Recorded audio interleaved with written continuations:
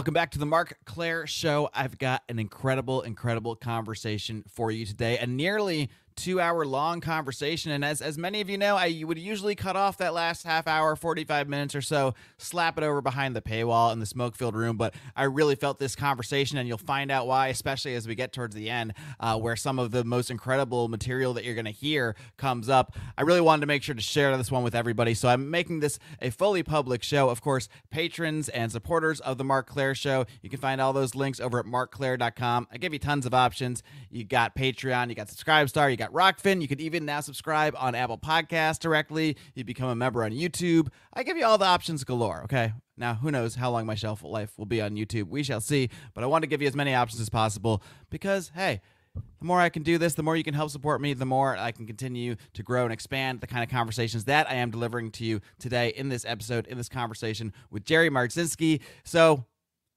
no smoke filled room, but I will be doing a little uh, separate bonus content for the premium supporters of the Marc Clair Show. Again, you can find all the links over at marcclair.com. That's M A R C C L A I R.com. One thing you can do if you are appreciative of this extra length show, uh, of giving you a full length show for the public here, you can check out our sponsors, Fox and Sons Coffee at foxandsons.com, F O X N S O N S.com. You get 18% off your order when you use the MCS discount code. That is just MCS. Very simple. You're going to love the Fox and Sons coffee. Let me tell you, Steven's always getting more fancy exotic beans from around the globe. I don't know how the man does it, but he does it and he does it well. He's also a great family man, teaching his sons about entrepreneurship with this incredible business. And Steve is a real one. I spent a couple hours on the phone uh, with Steve the other day, uh, and he's a real dude. He supports the show because he loves this show. So if you love this show too, please do consider supporting Stephen Fox. Get yourself a bag or two over at foxandsons.com. And my friends, please do enjoy this incredible conversation, if I do say so myself, with Jerry Marzinsky. Welcome back to the Marc Clair Show. My guest today is a retired licensed psychotherapist with over 40 year, uh, years of experience working with and studying the thought processes of psychotic and criminally insane patients in some of the most volatile psychiatric institutions in the nation. He is also the co author of the book, An Amazing Journey into the Psychotic Mind Breaking the Spell of the Ivory Tower. I'm so pleased to welcome Jerry Marzinsky. Jerry, welcome to my show. Glad to be here. Glad to have you here, Jerry. And uh, as we were kind of discussing for a minute before the show, the, the what you get into and the what you've uncovered in your career really does tie into so many of the sort of higher level topics that we get into on this show. But I, I just want to start kind of learning a little bit more about you. Obviously, there's there's your own background that you can you can detail a little bit, but I really want to get to when you first started encountering some of these these patients that, that you'll describe today. Uh, when you first started, when did you first start to realize within within your own story there that the medical establishment and, the, and what you were learning about mental health that there was there was something that was missing?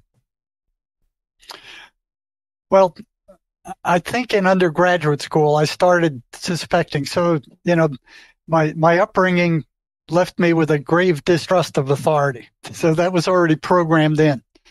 And, and what I hated about psychology is that there was no way to, except for experimental psychology, there, there was there was no way to test what they were talking about. You know, so here's all these, you know, read this and read that and study this and regurgitate all this, but th- there was no way to, to to find out for yourself. You couldn't go into a mental hospital or or uh, mental health center, or uh, there's no way to test it out. You, know, you, you just had to believe what they were telling you, and, and memorize and spit it back out. Uh, that didn't go over well with me. I mean, even though I did it, I didn't much like it.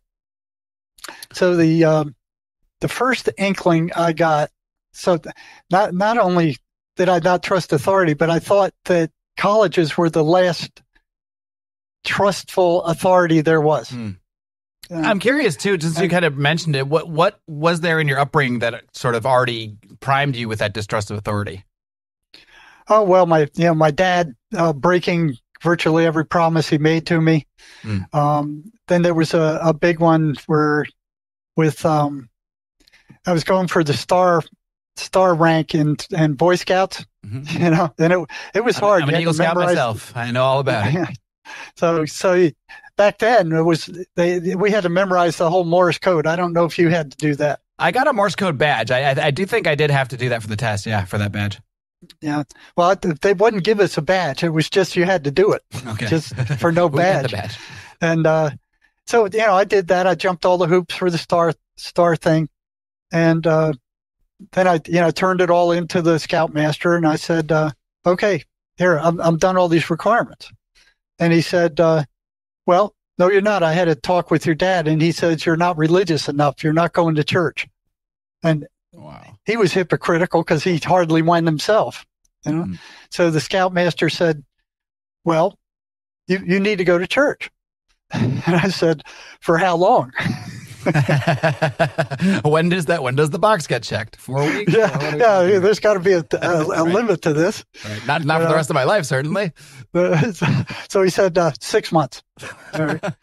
So I went for six months. I, you know, I went religiously for six months, and you know, didn't really learn anything much. The uh, I learned the preacher was having an affair with one of the parishioners. You know, so learned that. I suppose that's a Uh, lesson of its own that might have fueled, put more fuel on the fire of that general Yep. sense you were getting. That I can't always trust the people to be saying what you know that what they say is true. Right. So that just reinforced it. Okay. And uh, so I, you know, I did my my six months. I turned it turned it in, and uh, uh, he called the preacher, and the preacher said, "Yeah, he was here, but he he certainly wasn't setting the woods on fire." You know, I, I my deal was I would show up. You know, Yeah, I, you, know, I you never said I had to be deal. into it. yeah, right. So I did my part of the deal. And uh, he says, um, Well, no, I'm not going to give it to you. The, the, the preacher said you weren't really into it. I said, That wasn't part of the deal. The deal was that I would show up, and I showed up. He said, Well, I'm not going to give you the badge. And I said, Well, I quit. Take your I can't believe they show gave you that much of a hard time over just star rank. Even I mean, the, an eagle we got a pretty good grilling, and maybe even life before that to get really into the, the nerdy weeds here. But uh, yeah, that was I think that was a breeze for most of us. Yeah, I felt I felt the same way. So I, he he gave it to me probably twenty years later. He finally broke down, and he 20 it ended up in the mail one day. You know, it was like, uh, all right, so you did realize you were wrong, didn't you? Well, that's good that he that he sort of you know had It, his, was his moment. It, I was after all that time, you know, because Right. I I kept in touch with him. He was a he was a decent guy.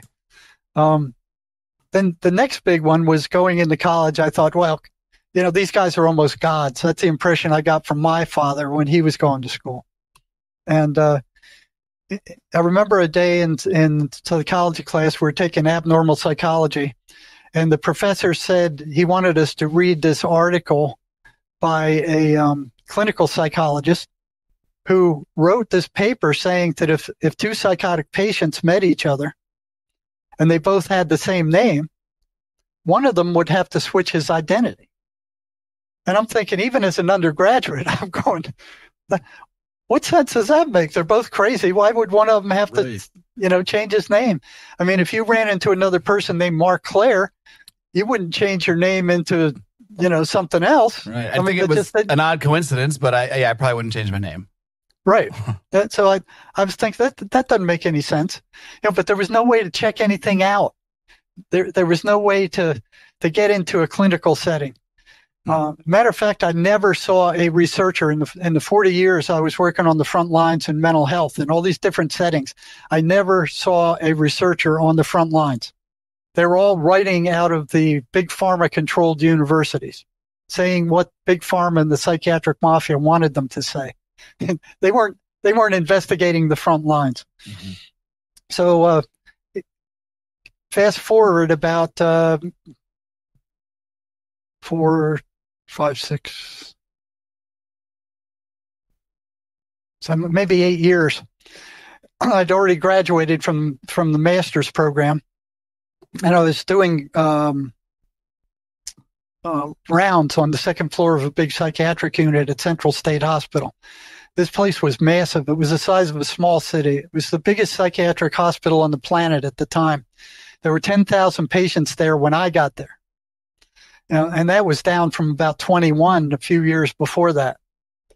So it was it was a small city that had its own uh, food factory, its its own central kitchen, its own heating facilities. I mean, it it, it was like a small town in and of itself. And um, So I was doing the rounds on this psychiatric unit and I saw a, a new patient and he was talking, it looked like to himself, but he was carrying on a coherent conversation. And, and it, it sounded like one part of a telephone conversation. Mm-hmm. You know, and what they taught us in, uh, in college was that the voices were hallucinations. And I'm thinking, well, if they're hallucinations, they're like word salad. They don't make any sense. They're just garbage, you know, uh, nonsensical words. You know, that's not what I was hearing. You know, from a number of them, they were arguing with these voices. They were talking with these voices. They were. There was one one lady that she was being arguing with the voices as she was leaving the hospital. So she was arguing with the voices that she didn't want to leave the hospital as she was leaving the hospital grounds. So uh, the voices weren't what I th- thought they were. I mean, these these were coherent conversations that, that these people were carrying on. So I heard this guy talking. And I kind of snuck up behind him and wanted to kind of hear what he was talking to with these voices, but he caught me, you know, before I could pick up anything. And uh, he turns around and I said, "Well, hey, I haven't seen you here before. Um, my name's Jerry. I'm the psych on this unit. Um, what's your name?" And he goes, he looks at me in the eye and he says, Well, I'm Jesus Christ. And, you know, I think back to that abnormal class and I look at him in the eye and I say, No, no, no, you're not Jesus Christ because I am. And I'm like sitting there wondering, like, okay, what's he going to do? You know, is he is he going to change his name like this clinical psychologist said he was? He going to change into somebody else? And I'm sitting there waiting, and he cocks his eyes up and he's thinking like, uh, well, and then he looks at me and he goes, "Okay, we can both do Jesus Christ. And he kind of strolls off. and I went, okay, what else? That's not what they said he'd do in the book. They said he couldn't have the same name. It's already falling apart. yeah. So th- that was another, you know, it's like, okay, what else did they lie to me about? Mm. Yeah. So th- the, the second thing I thought, so I was already wary. Now, what struck me as really strange is this was a massive hospital. And I was, I was very is interested in abnormal psychology, and there there was every psychopathology in that place that you could imagine. They, they were all there somewhere. You know, you could see them all. And uh, I was like a kid in the candy store. And uh, I was also an adrenaline junkie. Yeah, that helped a lot. So uh, I imagine, yeah, I imagine there's a lot of um, uh, adrenaline spiking moments working at a place like that. Oh, th- there was, and uh, so what I saw was that nobody in that entire hospital that I was around was the least bit interested in what those voices were telling these patients. You know, and after several months, it was clear to me that those voices were somehow affecting their behavior in a negative way. You know, I didn't know how, but you could see it. They listen to the voices and they start acting up. They start doing stupid stuff. They start doing destructive and crazy stuff. And the, the medicines were being given to them to suppress the voices. Right? That that was one of the purposes. So um, what are the medicines that they that they were prescribing these patients, by the way? Uh, phenothiazines. They were back then. It was Thorazine and Mellaril. Uh, are those still used today? Yeah, there's Thorazine's pretty rough. it's pretty crude. Uh, Mellaril, I think, is still uh, used. Uh, there was another one called um, started with an S, Stelazine. You know, and, so, so they're still used, but they had they they all had fairly nasty side effects. So so what the psychiatric mafia and big pharma are doing is producing these same kinds of meds that are still serv- serving as major tranquilizers, but with less severe side effects. Mm. You know, they still rot the patient's brain out with long-term use. They're still awful meds, you know. But uh, nobody nobody was interested in what these voices were telling these people. You know. The other thing I saw is that I, I would ask all the psychiatrists I worked around, all the psych nurses. I said, "What what causes schizophrenia?" And uh, you know, some of the more honest ones would say we don't know. But I, I would say 85 to 90% of them would say, well, it's a chemical imbalance of the brain. It's not really This an answer, though, because what, what causes that imbalance then? Well, what struck me is I never watched them or I never saw them give any kind of take any kind of baseline. So if you're if you're saying there's a chemical imbalance of the brain, before you start treating it, you would think you'd want to know what chemicals are out of balance. I think uh, what are there 23 different neurotransmitters or something like that. You know, which of them are out of balance and by how much? You know, you'd think that you would want some kind of baseline to start with. So if there's an imbalance, what's out of balance and how much and what do you give to fix it? That never happened. They would just reach into their bag of medicines and go, well, I think I'll start with this one. And if that one didn't work, it would be another one. If that one didn't work, we'd change it to another one. And they, they only spent like 15 minutes a, a month with these guys. Ask them how your medicine's doing. Well, I don't like them. Okay, we'll change it to another one. See if you like that any better. You know, they never took any baseline ever. And I'm like, well, how do you know what, what's out of balance or how much? I, I asked one. They said, oh, we don't worry about it. The drug companies take care of that. I'm like, what, what do you mean the drug oh, companies they've already done the that? research, so we're They, fine. they, that's right. They've already done the research. And I, it blew my mind. I'm like, "Wh- what? You know, that's like letting the fox loose in the hen house. Did you find you were the was- only person asking these kinds of questions around I was there? the only person, only person, only one. And I got in trouble for it. just you know, for when asking the, the questions. just for asking the questions. When I started, see, the, the staff didn't know what the voices were. They didn't much care. They weren't curious about it. They were told that they were hallucinations and that's what they believed. You know, but they, they weren't the least bit curious about them or what they were saying or how they behaved or what they were doing. They weren't asking any questions. They were just dishing out medicine. They had been brainwashed in the institutions to believe they were hallucinations and that's what they believed. So none of them knew what the voices were other than hallucinations or how they operated or what they were saying to these people. So I started asking the schizophrenics themselves. And it, it took about a year to figure out how to do that because they were they don't call them paranoid schizophrenics for nothing. You know, they they're paranoid and they got good reason because there is no positive outcome to answering questions about the voices. Now, I didn't know it at the time, but the voices themselves punished the person for talking about them. Hmm. The, the other thing is they, they've lost all their friends. When they start talking about these voices to their friends, their friends go, uh, you're weird. You know, you're, something's wrong with you. You're possessed or something's wrong with you. You're off. And they lose their friends. So they start uh, t- telling their parents, well, I'm hearing these ugly voices and their parents get all upset and you know they see they're behaving strangely and they take them to a psychiatrist the psychiatrist pronounces them mentally ill and puts them on these awful medications that make them feel awful you know? So there is no positive outcome And they don't for- stop the voices either. the and, no they- they will they will quiet them but they won't stop them. And and the voices are horrible. They're they're like you know they say things like you're no good you're ugly you're stupid you're you're ridiculous you're nobody loves you. Uh, uh, the most vile things that you can imagine that's what these voices are telling these And is that patients is that consistent across all schizophrenics? Is it Yes. always negative? Well, the, the paranoid schizophrenics okay, paranoid. That's a, that's and a that- that's specific the biggest- of of schizophrenia. that's that's a significant sub that they're they're the biggest group and that's not only significant for the state hospital I worked at when I went to work in the psychology of the state prison here in Arizona it was the same thing same patterns same exact patterns it was it was like they were all made from some cosmic cookie cutter or all programmed by some cosmic cookie cutter somewhere to to, to say the same kind of stuff. You know you're ugly you're stupid you're you're rotten uh, nobody loves you you're you're weak you're uh, every rotten thing you can think of you know?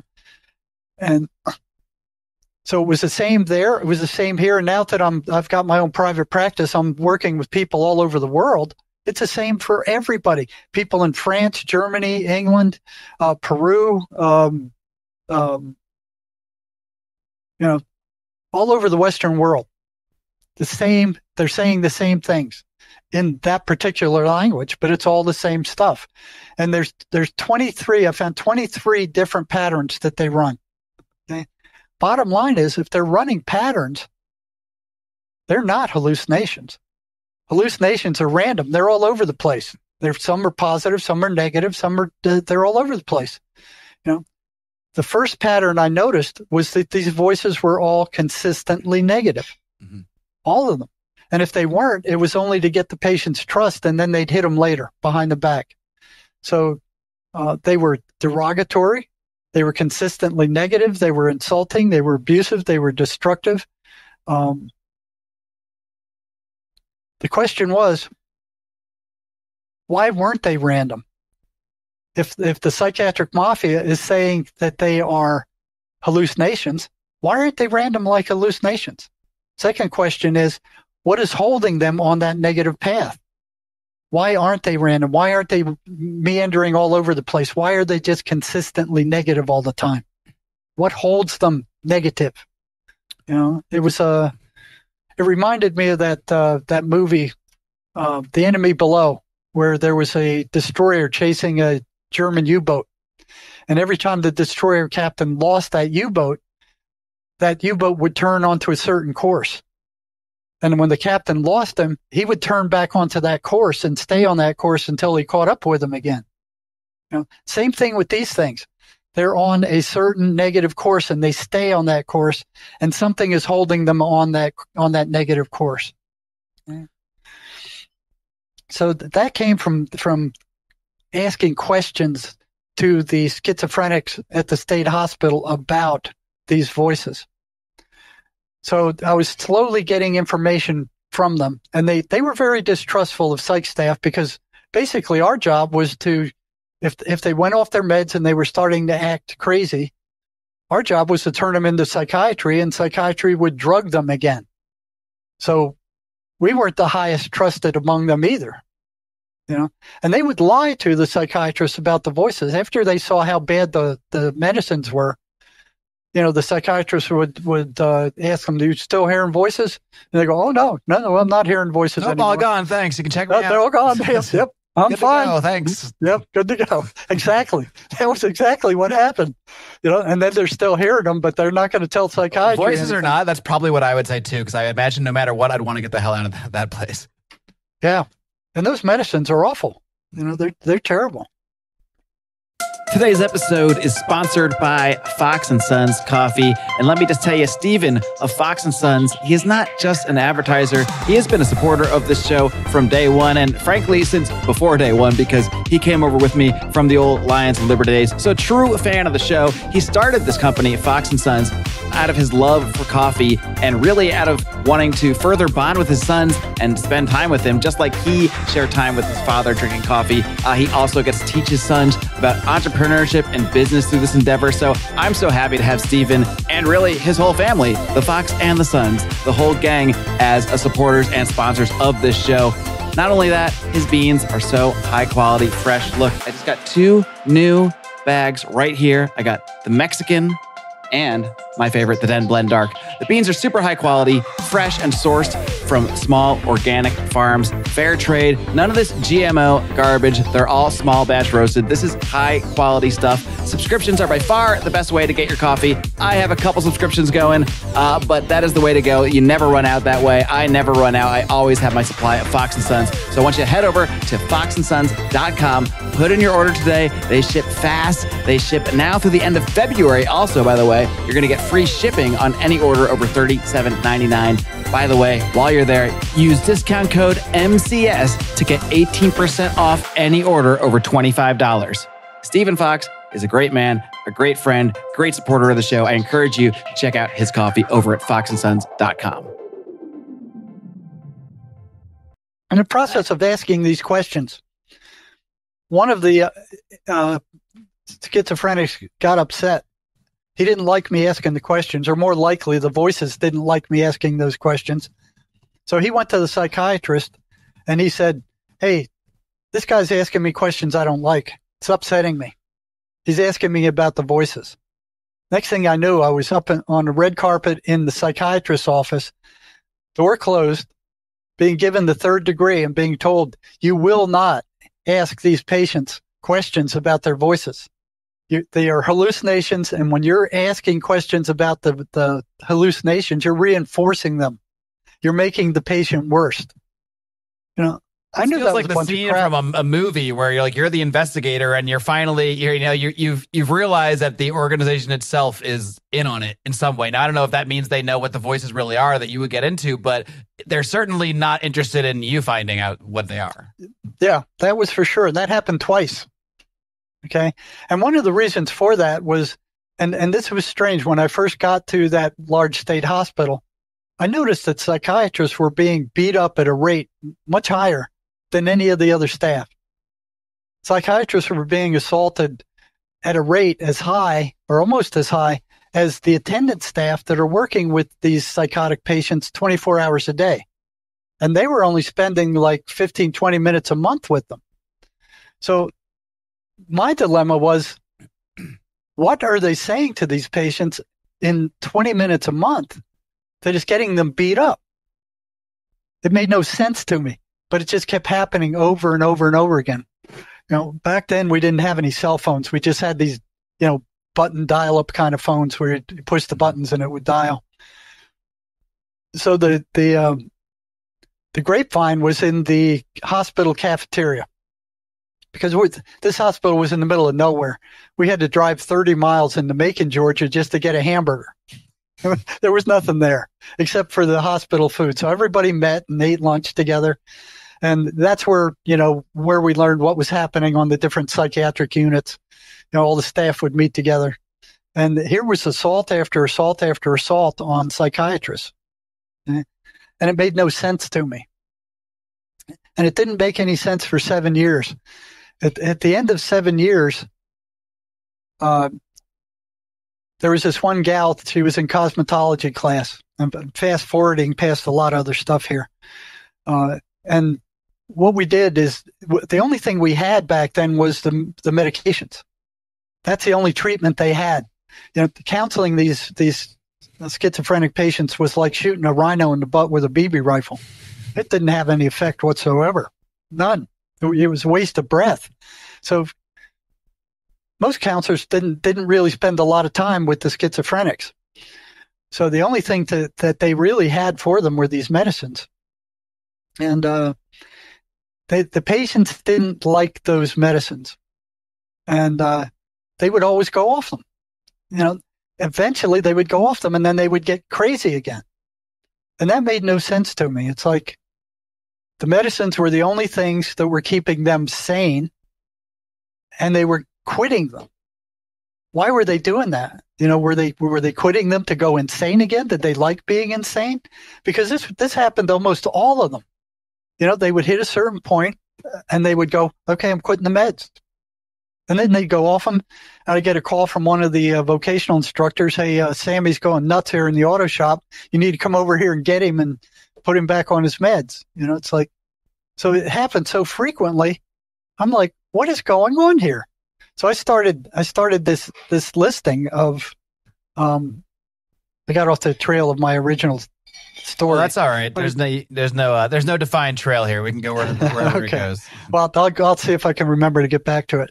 So I, I I started asking these guys like these medicines are the only thing that keep you functional. They're the only thing that allow you to read and study and, and not act like a lunatic. Why are you going off them? The consistent answer was the side effects. The side effects are horrible. Okay. But the, the effects of, of being psychotic are very horrible. They're really bad. You know, I mean, you have monsters chasing you, people that, you know, you're paranoid somebody's coming through the window to kill you. You're being watched, uh, you know, cameras in the room, uh, demons attacking you. I mean, all these horrible things that schizophrenics experience when they get, become florid. It's, um, so it's, it's like, well, that's not making any sense. So I went to the DSM and I got a listing of all the all the facets of paranoid schizophrenia. You know, the hallucinations, the paranoia, the uh, all the rotten things that happen to schizophrenics. And I'd, after every single one quit their, their medications and they put them back on medications, I'd bring them in my office and I'd say, why'd you quit your meds? Do you, do you like being crazy? What's going, on? why did you do that? And they go, well, the side effects were awful. Okay. Granted. Okay. The side effects are awful. I said, what's worst? You know, the side effects or being schizophrenic. So I, I gave them two sheets of paper. I'd give them one and I'd tell them, write down all the horrible side effects of your medicine because they all didn't have the same rotten side effects. You know? So they'd finish that and they'd have five or six awful side effects. And then I'd give them the description of what it's like to be a paranoid schizophrenic. You know, the, the hallucinations, the paranoia, the, the confusion, the, uh, the, the demons attacking, you know, stuff coming out of the walls. I mean, all that kind of stuff. And, and I'd give them that, a check sheet, and I'd said, check all, all these symptoms you've had when you were completely psychotic. And they'd check off a whole bunch of these things, and then I'd hand them both back to them, and I'd say, uh, which is worse? Consistently, they would say that the symptoms of psychosis were much worse than the side effects from the medicines. Hmm. And then I'd ask them, well, then why'd you go off the meds? And their answer was, I don't know. That went on for years. And this is across like consistent across many different patients with the same answer. Many different patients in different units, you know, and it was it was completely consistent. So I had no idea why that was happening, and they couldn't tell me. They didn't know, you know. That was the answer to every single one of them. I felt like a crazy guy myself asking them the same question. You got to be asking yourself, are these guys having secret meetings and, and kind of coordinating their answers? I mean, it's got to be driving you mad, like you said. Yeah. Oh, they was. It was frustrating. And I go, and I go, well, then why'd you go off your meds? If, if, if the symptoms of psychosis are much worse than the side effects, then why'd you do it? I don't know. I don't know why I did it. All of them. it was like some science fiction something. You know, it was like, uh, outer limits time. Right, you know, right. do do do do. I don't know. Something took me over. I don't know. Uh-huh. So seven. Fast forward another seven years. It was the last year I was working at the hospital, and here's this one gal I had in a cosmetology class. She was doing good. She would have made a good cosmetologist. She'd already gone off her meds two times. If they went off them three times, we just assumed that they weren't going to stay on them when they left the hospital, and that we were wasting our training money on people who weren't going to stay on the meds, which is the only thing they had at the time. Okay. So we would, we would usually discharge them. Say, okay, yeah, go home to your family. You, you know, you can't oh, stay well, on the meds. Off you go, I guess, right? Off I mean, you go. There's nowhere, there's no other option, huh? There's no other option. We'll say, well, we'll find another one who will stay on the meds. Hope, hope those voices get nicer, I guess. See ya. Yeah. So the when when we when we told her mother, when she told her mother, her mother called me and was just begging me like, uh, please, please don't do that. Please don't send her back here. I can't deal with her. Um, she's, she's, she's does, does well when she's on her med. She's doing well in her classes. Let me come up and, and we'll talk to her together and find out why she, you know, went off her meds. So I'm like, okay, I'm going to have an ally to help me ask her why she went off her meds. You know, so the first time I had an ally. So the mother showed up on Friday afternoon and we're in my office and the mother and I are both asking her, why did you go off your meds? You know, well, I didn't like the side effects. Well, we, you know, I gave her the side effects and, and just said something, what's, what's worse, the side effects or the psychosis? She goes, well, the psychosis is worse. Well, then why did you go off your meds? And her mother and I are both sitting there waiting for an answer. Finally, she says, you won't believe me. I said, uh, try me. I've heard some pretty weird stuff since I've been here. I don't think you're going to upset me with anything. You know? And uh, she says, the voices told me that I was being poisoned mm. and that the psychiatrist was poisoning me. And the voices were pointing to the side effects of the medications and telling me that I was being poisoned by the psychiatrist. So I that's why when they broke it down themselves, they would go, "Well, yes, obviously the psychosis is worse." But when the answer actually came, it's it's it's the voice telling them they're being poisoned. That is what would come through and, and put them off the meds. Yeah, and I think I have uh, I have a transcript where somebody else was saying the same thing.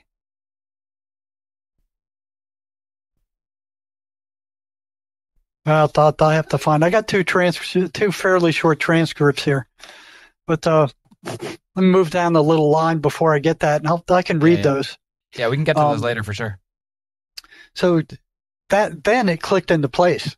You know, it's like that's why the psychiatrists are getting the crap kicked out of, and nobody else is. Mhm. They're the ones dishing out these medications. You know, and the voices are telling all these other ones, "Yeah, you're being poisoned too." I've heard that over and over and over again. The psychiatrist is poisoning me. It's so interesting that in this in this sea of madness in in these hospitals that you're in, that you're actually finding finally, it seems like like something logical in a, in a way. Even if you can't explain it, there is like a logical. Okay, they are attacking the psychiatrist for a, a reason, a reason connected to, to what these voices are telling them. But uh, uh, most of the real doctors, quote unquote, real doctors, there would say, well, you don't listen to the voices because the voices aren't aren't real, so we don't have to worry about what they're actually saying. Oh, they're very real. they're, they're very real. Just because the psychiatrist isn't hearing them doesn't mean they don't exist. Mhm. And they run the same patterns again. You know, so that explained why psychiatrists were getting beat up, only spending 20 minutes a month with these people. Then it made sense. It took seven years to come to that conclusion. And since then, I've heard scores of other patients tell me the same thing. You know, the voices are telling them they're being poisoned by the psychiatrist. Mm-hmm. So the, the, the negativity was the first pattern I saw. The second pattern I saw was that the voices were anti-religious. They didn't like these patients reading the Bible. They didn't like them going to church. They didn't like them reading any kind of spiritual material. And what I noticed is when the chaplain gave like an ice cream social in the, the big meeting room downstairs in the in the psych center, the schizophrenics would never go.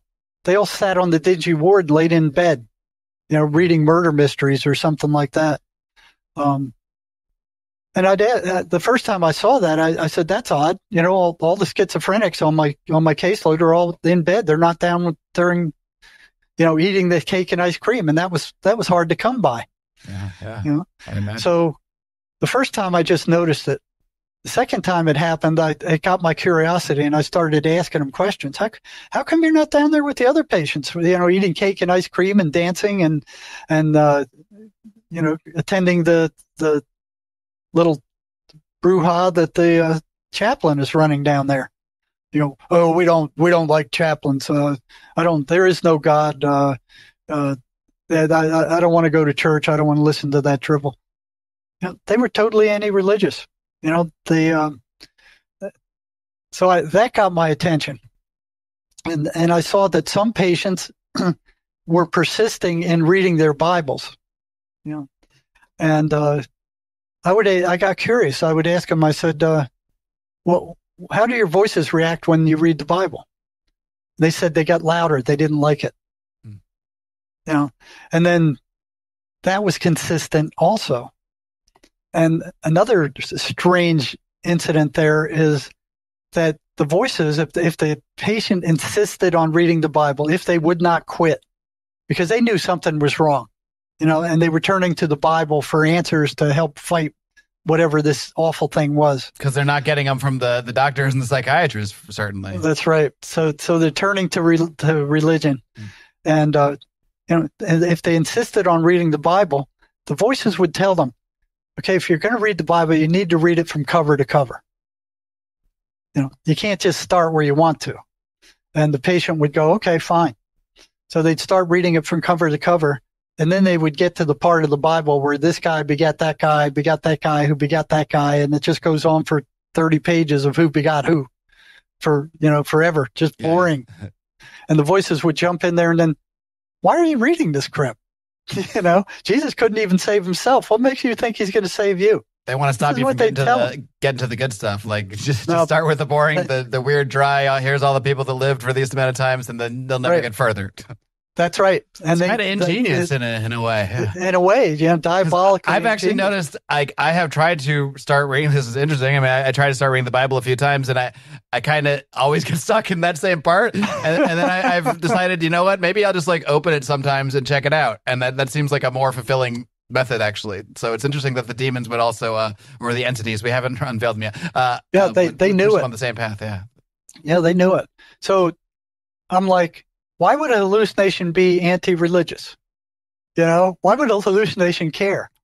So I started asking these uh, some of the other schizophrenics who went to church. You know, every schizophrenic I found who went to church or had gone to church, I'd get start asking them, and I, I was always bashing these guys with questions. You know, but I had to be careful. Um, so so this is before I got caught. These these uh, these first three these first three patterns, you know, the negativity, the anti-religious. So I started asking them, what, what do your voices do when you go to church? How do they react? And it broke down into three different categories. If the voices were very weak, they would just shut up. They, they wouldn't do anything. If the voices were of moderate strength, as soon as the preacher started talking, they would start over talking him you know, like, oh, listen to this garbage this guy's saying, and why are you listening to this crap? I mean, you know, just mocking the preacher and, and just distracting the patient so they couldn't hear anything the preacher was saying. Okay? So voices were very strong. They would, the patient would jump up and run out of the church like he was being driven out, you know? So it broke up into those three categories. So it was like why would a hallucination care about religion? You know, that doesn't make any sense. So I started asking more questions, and eventually, one patient came and said, uh, "When the voices come, I repeat the 23rd Psalm." The voices absolutely hate it. He said it's like throwing worms on a hot frying pan. That's how they react to the 23rd Psalm. And I went, "Well, that's interesting. You know, why would that happen?" So I started handing out the 23rd Psalm to all these other patients, said, read this when the voices come. Tell me what happens.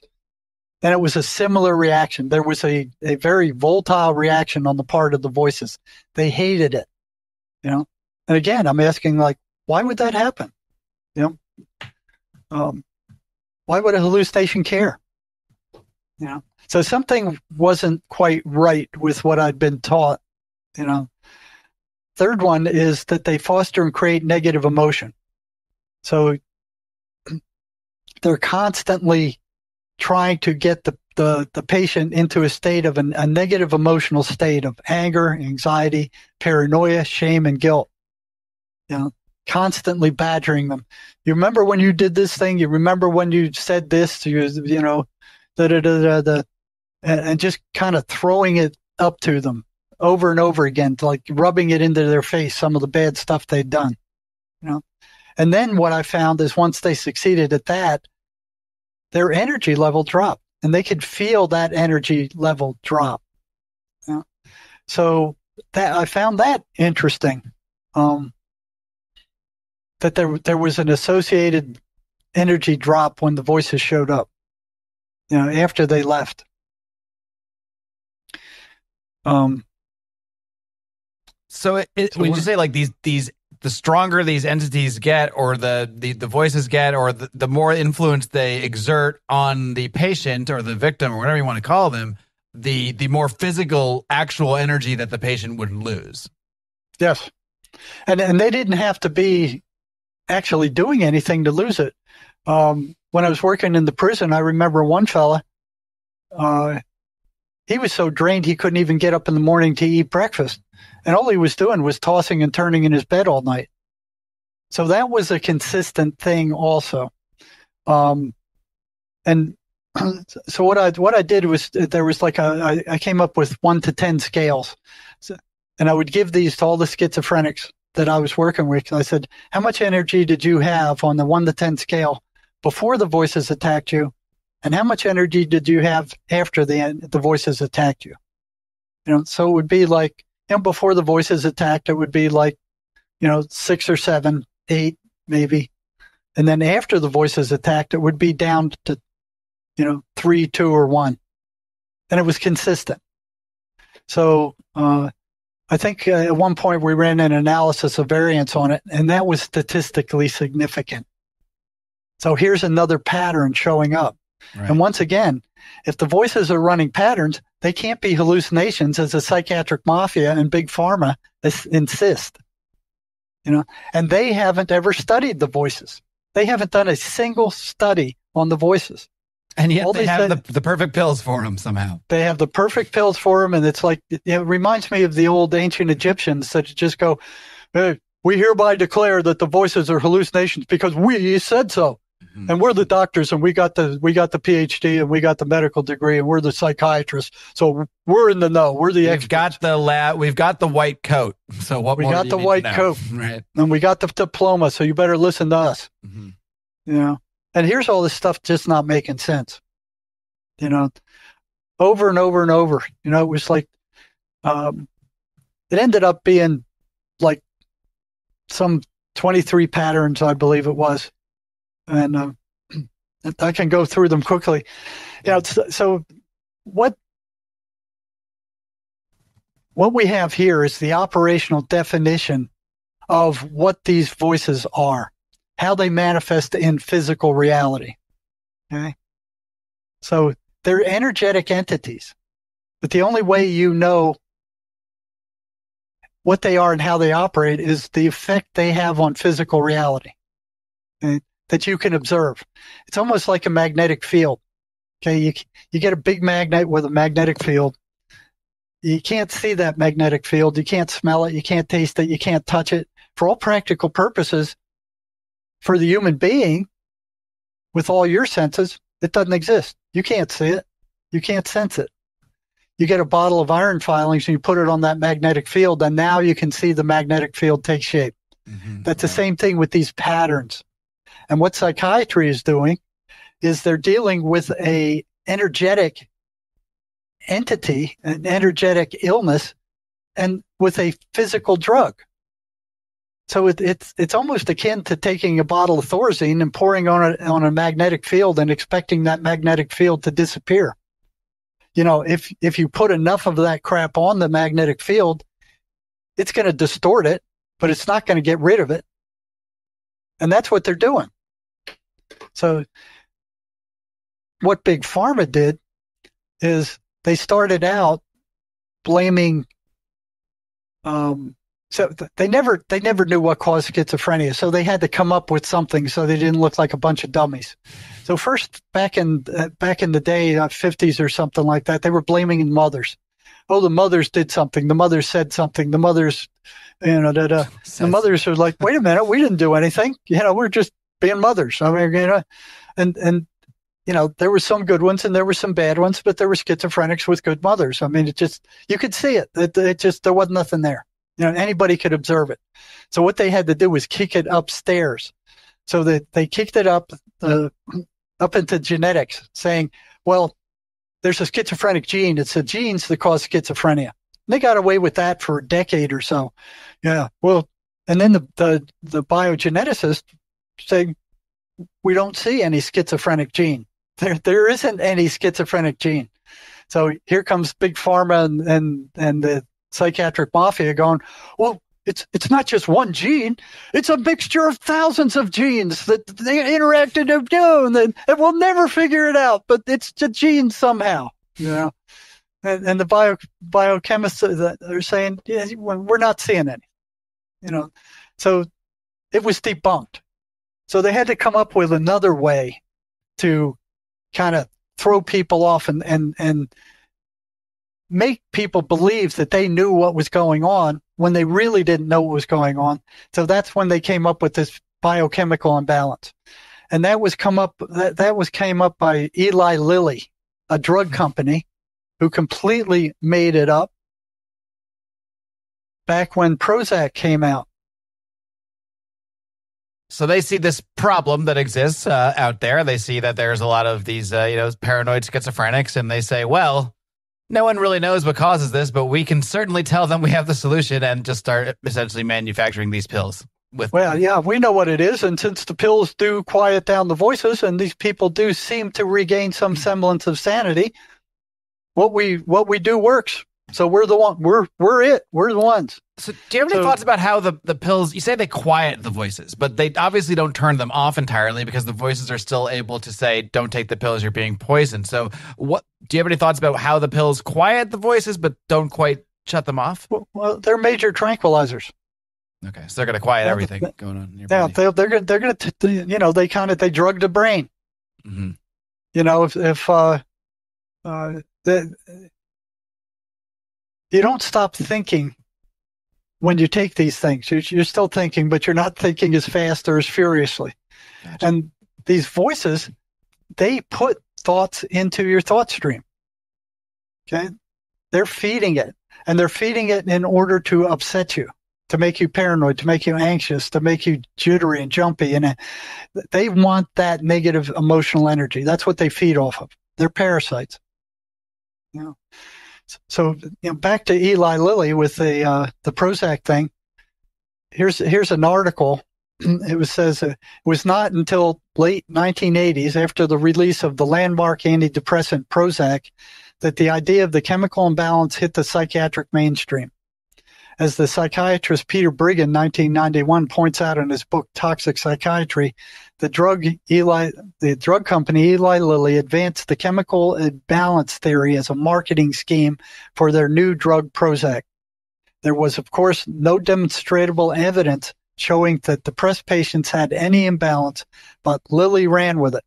Long, before long, psychiatrists and psychiatric patients alike came to identify with the idea that mental disorders are caused by a chemical imbalance of the brain. It was a complete lie, a complete fabrication. And this is what they're basing all their drugs on is a lie. This chemical imbalance has never been there. There just came out with another article showing that there is no serotonin re- so what the what the the psychiatric mafia and big pharma were saying is that serotonin is out of balance. So they created these antidepressants that block the reuptake of serotonin. So um, once the serotonin is used the body will destroy it. So it blocked that destructive process so the ter- serotonin would keep activating the the neurons. It didn't much work okay? And it's been proven that there is no serotonin uh, lack in depressed people. You know, so th- all this is duplistic. It's all made up. You know, along with their DSM, that was all made up. Also, their their Bible. So here's here's more and more duplistic stuff coming up that uh, you know made no sense. But these patterns continued. So as I went from the state hospital, uh, where I had to be real careful about not upsetting these patients because you had you had two things going on is that psychiatrists were being beat up at a, a horrendous rate. So the unwritten rule in the psych hospital was you don't upset psychotics because you don't know what they're going to do. You know, they seem to be going off on psychiatrists for little or nothing. So psychiatrists don't want you doing anything to upset them. So that that's where I kind of got in trouble there. Um, so where was I going with that? Oh yeah, so I had to be careful questioning them in the in the state hospital. Uh, when I got to the state prison in the psychology department of the state prison, that was no longer a factor. You know, if if one of the uh, schizophrenic patients I was working with went to the warden and said, "Hey, uh, you know, the the psych is asking me all these questions and I don't like it. He's upsetting me." the warden would say, "Get out of my face, man! Go play in the traffic. Get, go go go pick up cigarette butts off the yard. Get out of my face." You know, so the prison was set set up to deal with violent patients, so they they weren't worried about it.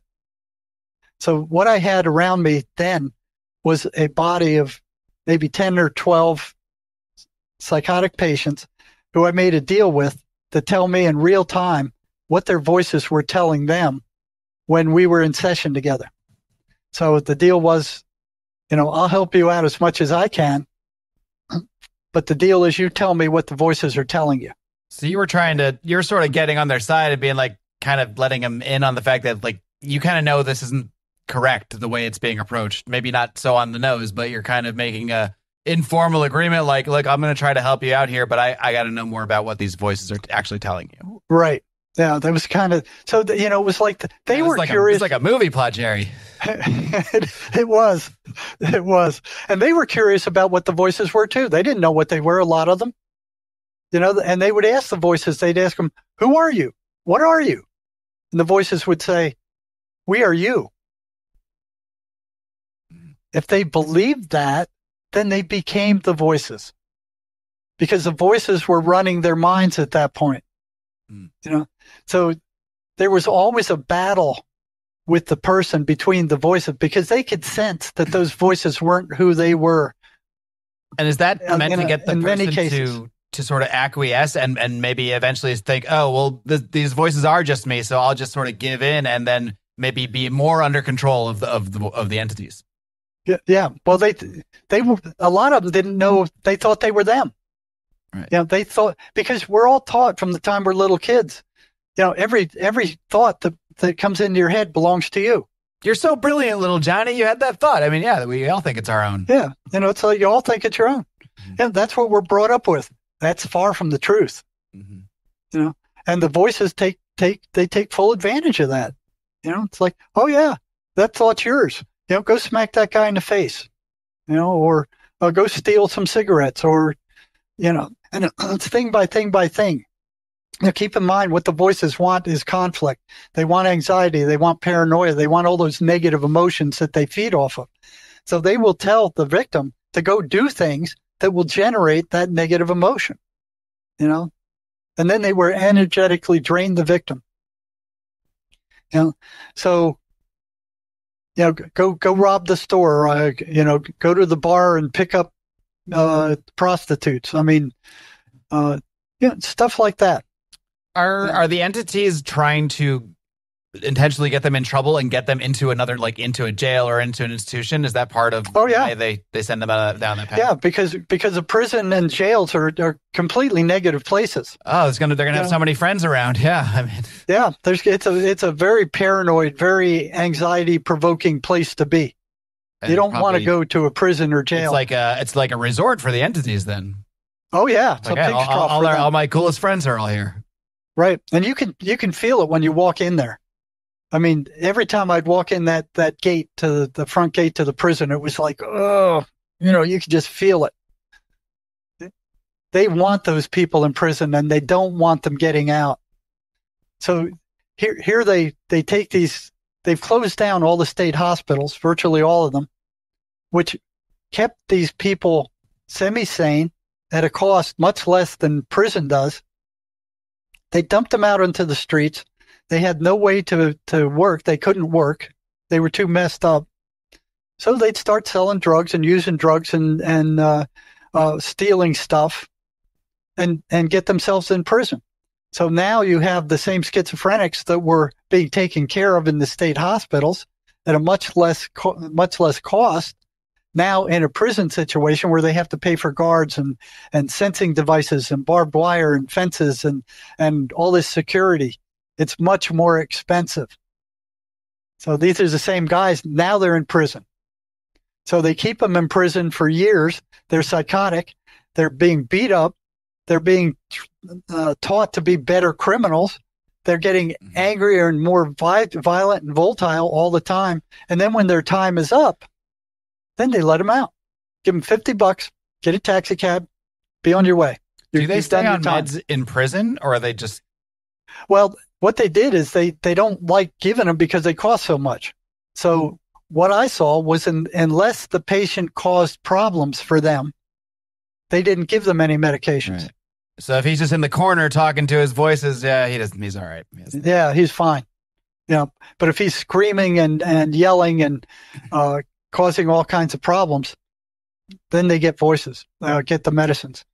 Yeah, but even even then, I remember a situation where uh, the chief psychologist was in cahoots with one of the psychiatrists, and they were on psychiatrists constantly not to dish out so many meds because it was costing them a fortune.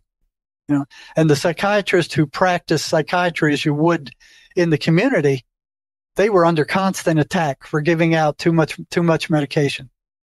So this uh, chief psychologist, he put one of his stooges in the medical unit to when we would send psychotic patients there and saying, "Hey, they're heating up, they need to be medicated." This psychiatrist or psychologist, he would say, "Well, they're no, they're not psychotic, they're personality disorders," and he'd send them back. Okay, so I had this one psychotic patient prisoner. He was he was getting more and more amped up. He was getting more and more psychotic. He was threatening this other patient, this other this other prisoner, and it was getting worse and worse and worse. And he was going to attack this guy eventually. So I sent him to the medical unit the first time. This stooge sent him back. I sent him a second time with more documentation as to how psychotic this guy was getting, the threats he was making, that he was imminently dangerous and that he needed to be medicated. They sent him back again saying, Oh, he's a personality disorder. I sent him back a third time with even more documentation saying, This guy's going to hurt somebody. You need to do something. You know, with all the, the, the pages of write up and pages of documentation. They sent him back a third time and two weeks later, he stabbed somebody 21 times. I was so furious with the chief psychologist that I couldn't go to work for two days because I was afraid I'd punch his face. I was afraid I'd beat the crap out of him. I had to stay out of work for two days. To, to I was just hmm. absolutely furious.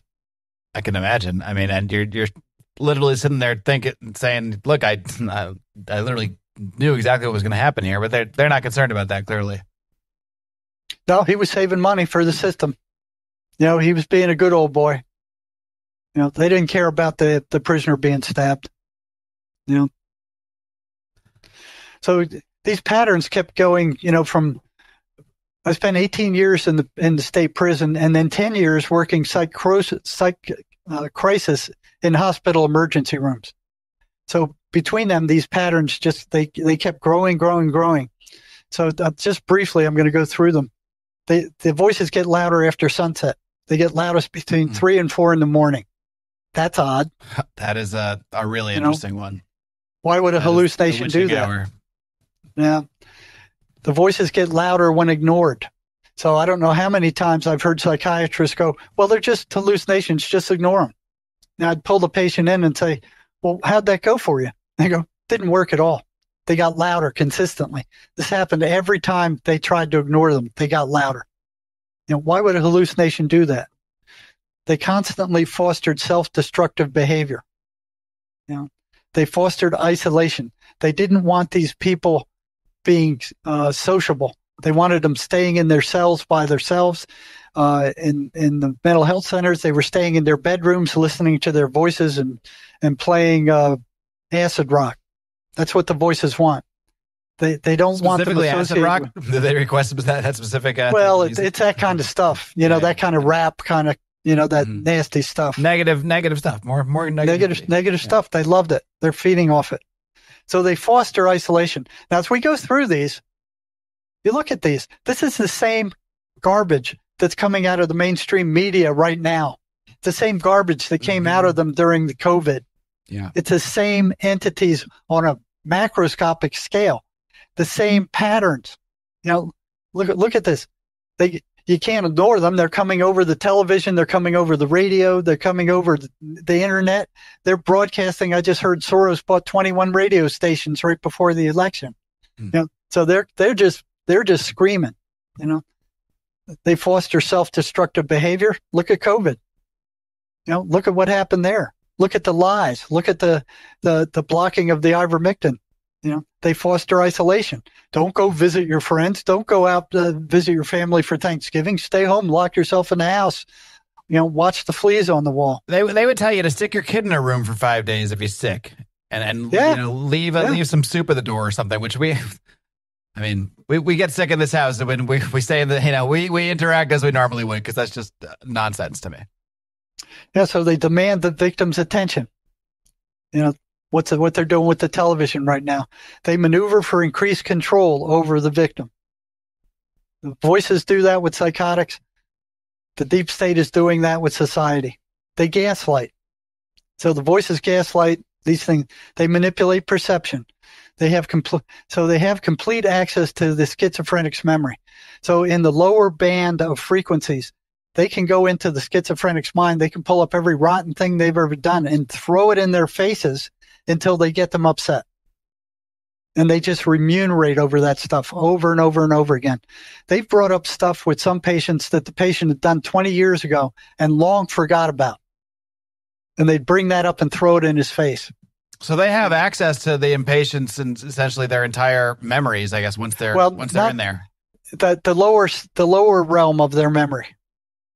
You know, not not the higher realm, but the lower. What does realm, that mean the, exactly? The lower frequency things. You know, so the bad things they've done. Okay. That kind of stuff. They they demand that uh, the victim not tell anybody about their presence. Okay, so the the voices don't want the patient telling anybody about them being there. And the mainstream media doesn't want them anybody knowing what's really going on and all the crap going on behind the scenes. It's all the same stuff. You know? It's just a hallucination. It's just a TV show. You know, it's, it's, it's, you could really make this comparison across the board. Yeah. And then you look at all this stuff coming out now that they've, they've lied about that they've kept down I mean, that's the other thing. The voices are consummate liars. They lie about everything. So does the mainstream media. I mean, it's the same entity. You know, the, the psychotic voices are the same entities that's coming out of the mainstream media right now in the deep state. They constantly steer their victim away from anything that might generate joy. You know, they don't want them feeling good. They can manipulate feeling without speaking. They short circuit reason. Um, they pass themselves off as thoughts belonging to the victim. Uh, they foster selective forgetting. They fill the victim's mind with negative thoughts about themselves or others consistently. So Sherry, Sherry Sweeney, the uh, co-author of our book, she said that every negative thought that comes into your mind is coming in from them. It's coming in from the dark side. They destroy any sense of positive self-concept. Um, they're averse they're averse to almost anything positive. Um, th- those are those are the main ones. There's there's some more, but anybody who's working with schizophrenics, anybody who's living with one, they can they can go to my website at jerrymarzinsky.com, go to the articles section and pull up this list of patterns, and you will see them for yourself. They'll be right in front of your eyes. And again, if the voices are running patterns, then they're not hallucinations. Something else is going on. But yet the psychiatric mafia and big pharma are going, oh, hey, all you plebes out there, just believe us. Uh, these are these are hallucinations. Just take our medi- our, our medicines, and uh, we're making fourteen point seven billion dollars a year selling antipsychotic medicines. We don't. You just believe us.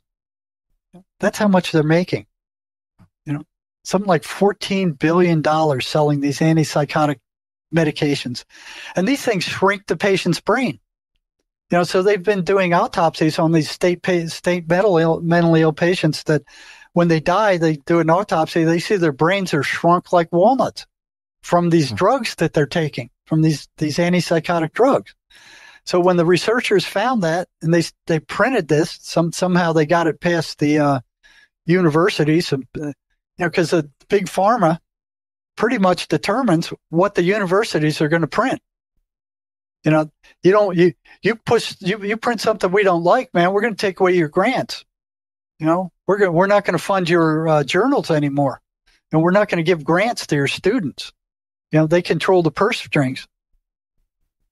So uh, when when that was first discovered, uh, of course the big pharma and the psychiatric mafia are jumping up, going, "Oh, it's it's not our drugs; it's the schizophrenia doing this. It's a, schizophrenia is causing their brains to rot out." You know, and the the researchers went, "Well, okay, we'll see." So they started feeding these same antipsychotic drugs to mice and rats and and uh, uh, monkeys, and the same thing happened.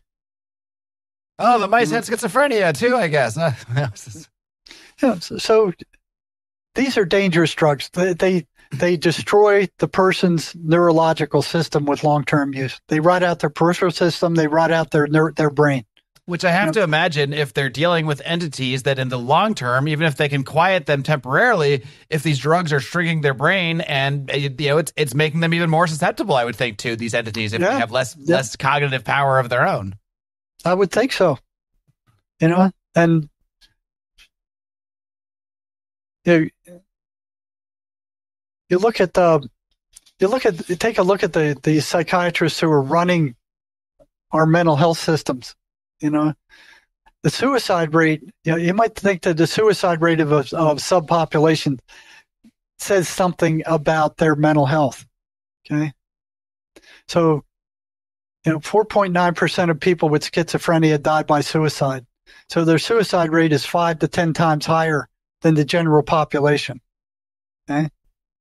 Now, according to the Journal of, of the uh, American Medical Association, the suicide rate for schiz- for uh, psychiatrists is 65 out of 100,000 or 5.9 times that of the general population.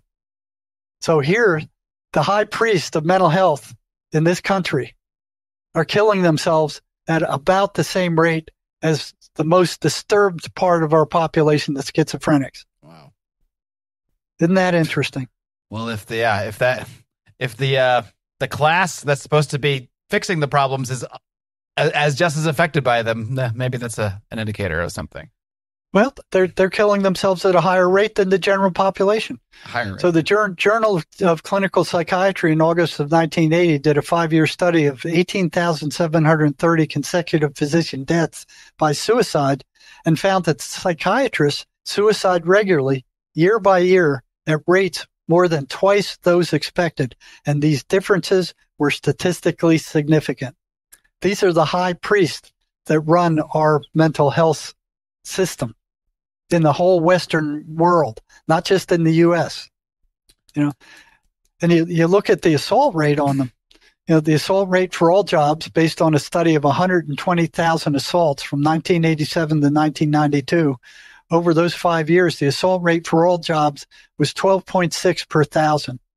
The assault rate for regular doctors, other than psychiatrists, was 16.2 per thousand. The assault rate for custody staff who are working around psychiatric patients 24 hours a day was 69 per thousand. The assault rate for psychiatrists for the little bit of time they spend around these patients, you know, and in in the state institutions and in private institutions, they might spend 20 minutes a week at the most. In the state institutions, maybe 20 minutes a month. Very little time. So the assault rate on psychiatrists for the very the little time they spend around their patients was 65 per thousand or 5.9 times higher than that of the general population.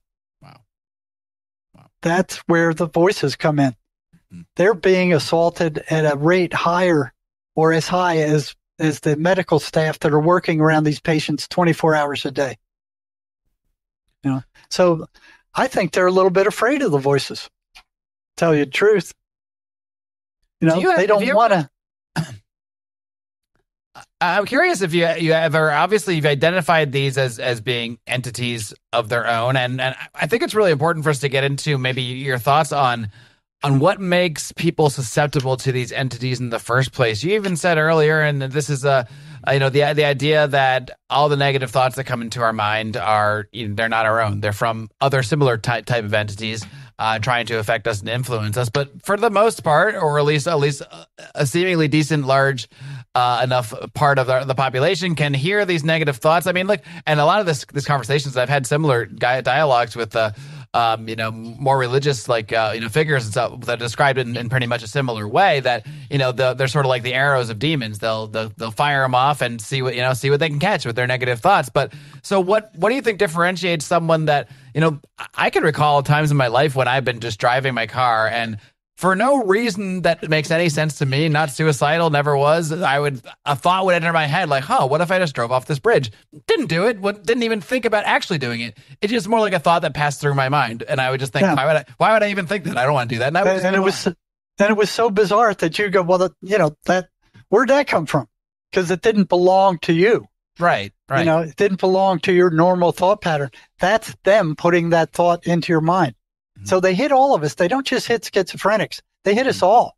Mhm. You know, every time something like that happens, that's them putting that thought into your mind. And, and even though you didn't act on it, it was like, it was still upsetting. It's like, well, why would I even think something like Yeah, that? Yeah, it's a weird thing. It made me think like, what's wrong with me? Why would I even think? What the Yeah, heck? yeah, Why would I think that right. about You know, and they're feeding off of that. Wow. And so, what do you think makes the patients that end up in, in where you would see them that get all the way to the hospital that are the most extreme cases that are the most afflicted by these entities? What do you think makes someone more susceptible to that? Did you find any commonalities? Obviously, uh, one is going to be drugs. We we know that the drugs, whether they're people doing it on purpose, which they, many people in psychedelic circles will intentionally try to communicate with entities that they think are are good or helpful. Uh, others are probably just trying to get high and not realizing what they're opening themselves up to. Well, yeah, that's one of them. You know, is is playing with Ouija boards.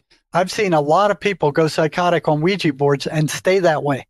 Wow. They're dangerous. They're not toys. And these things are You know? literally just. I don't know if I think t- Toys R Us is out of business, but you get the point. They're up there in the toy stores right next to Monopoly and Parcheesi and everything else. No, that's bad news. That's bad news. Like you know, like I said, I've seen a lot of people go psychotic on those, where they start moving around and they start talking, you know, with the Ouija boards, and then the voice moves into their heads. You know, so you got that going on, and then you got the other drugs. But the the most dangerous of all those drugs, as far as going psychotic, is amphetamine. Hmm. I have I have seen more people go psychotic on amphetamine than any other drug. You know, it starts off where they you know they're getting their high, they feel like Superman, they're feeling really good, um, and it goes on for a long period of time, and they just keep upping the dose, upping the dose, and they're feeling really great, and then they crash, and then they do it all over again, and then along comes these voices while they're high. You know, it starts ta- telling them you're rotten, you're no good, da da da da, and they go, well, that's just a hallucination, you know. I'm just, I'm just a meth head. That's fine. Yeah, I'm just a meth head. It's a it's a hallucination. It'll go away. And they come down and it does. And it may go away the next 20 times. But maybe the 21st time it doesn't. And Even it's there for the rest even of if their they stop lives. the drugs. Even if they stop the drugs. It's there. The prison is full of them. Wow. It's full of them. Meth is a very dangerous drug. That's the a- prisoners called it the, they called it the devil's drug. Some oh, that's uh, that's pretty on the nose. Some other, this is this is a much better anti-drug ad than any of those ones that you know Nancy Reagan was showing me in the 80s. that, that's for sure. Yeah, so uh, meth and and you know there there are the ones that uh, they're doing the psychedelic thing and they're looking for a guru or it's a special spirit to spa- speak to them. They don't know who they're speaking with, you know, and that thing gets in their head and it won't come out. So you got to be careful, you know. Don't assume that you know who, whoever you're channeling is a good spirit because it, generally the bad ones try to get your confidence first. Right. Yeah, I've, like, I've heard oh. of people that had like actually one somebody commented on a, a, a interview I did a few months ago where he said like actually I started talking to someone who an, an entity that would start telling me he actually got me clean, got me off drugs and alcohol, and then I realized that it just made me even more egotistical and and led me down this darker path into the occult and doing all this other stuff because I, I thought oh this ended this thing helped me out. I can listen to it. And then it would send him down this darker path when he really Yeah. finally realized like oh yeah. So even even the good thing which yeah ostensibly uh, you're getting off drugs or whatever is a good thing but it can also just be a way to build the trust to lead you into the darker thing. Yeah, so that's pretty common. You know, and then the, the I think one of the biggest ones is trauma.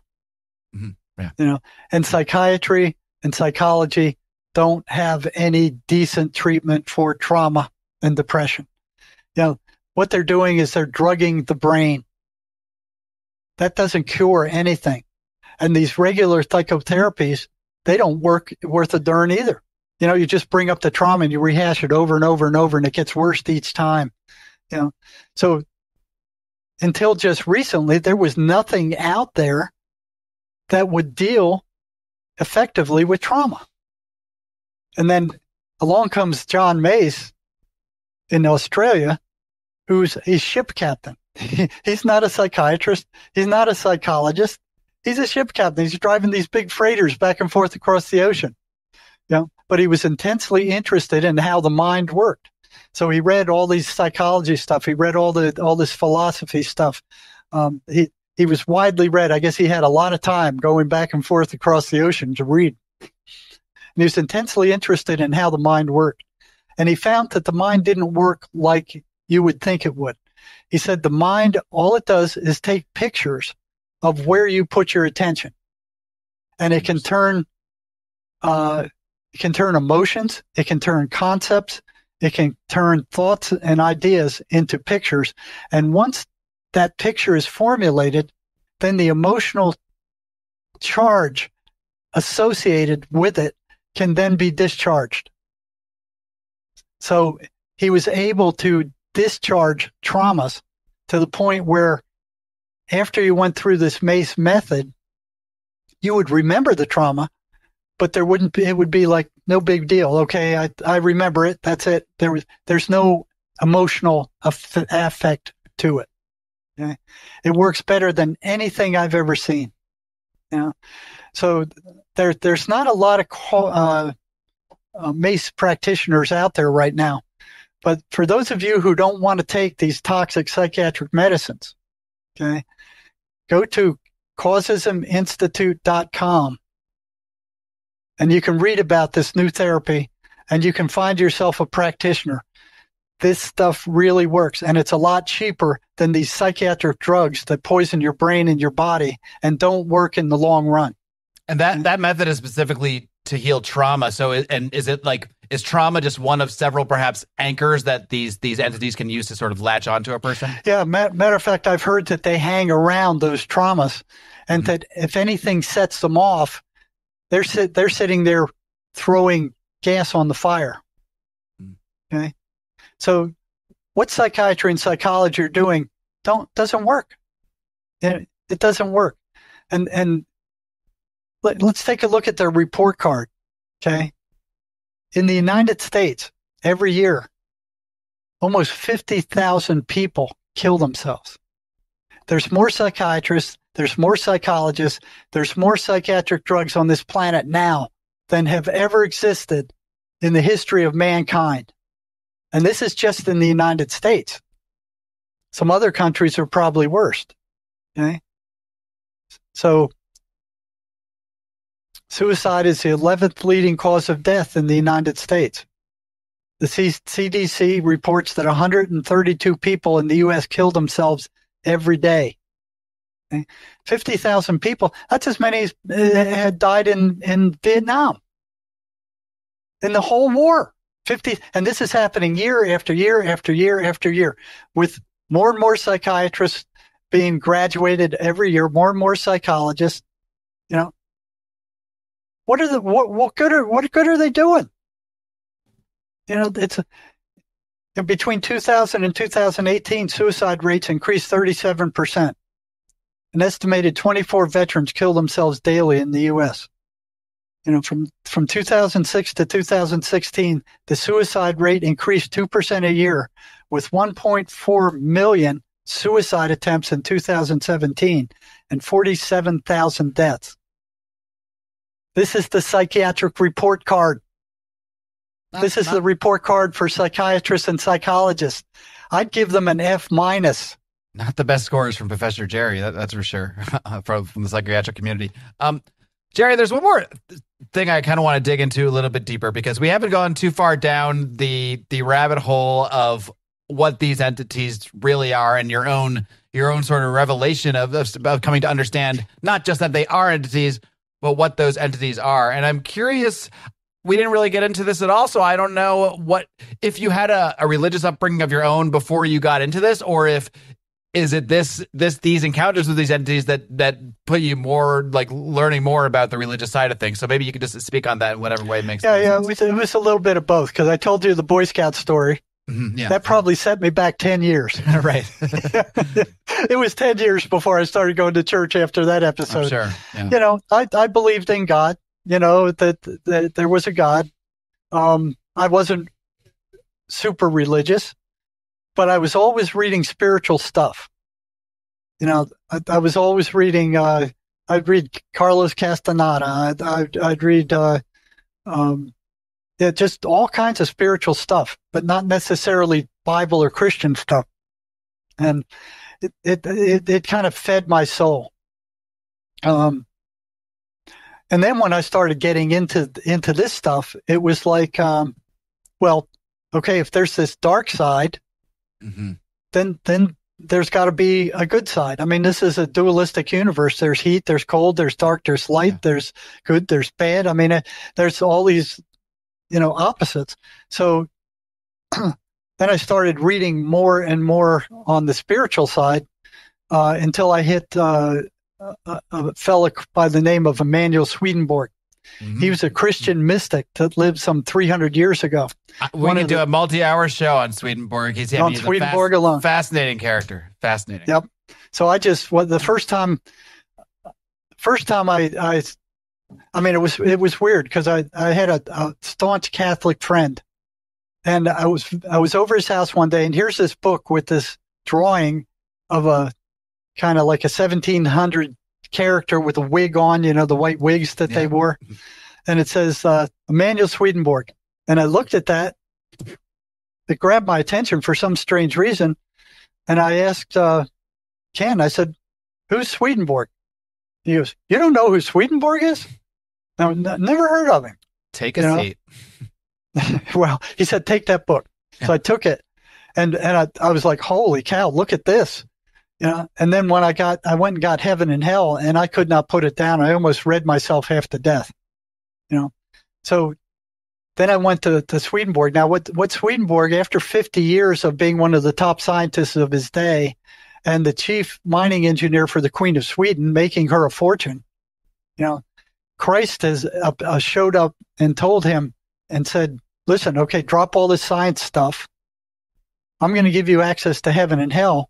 I want you to go there and you talk to the people in these places and then come back and write about those discussions and, and teach people on the planet what's going on there. Okay. So I fell into that and it was like, it was incredible stuff. But you were asking about the voices themselves. Mhm. So I think that might be a good time for you to get, for us to get into the transcript. So this is an Okay. actual session that I was holding with a prisoner who eventually did recover, fully recovered. Okay. That wasn't supposed to happen. I got in trouble at the prison for this. Oh, we can't have recoveries. We can't sell drugs No. that way.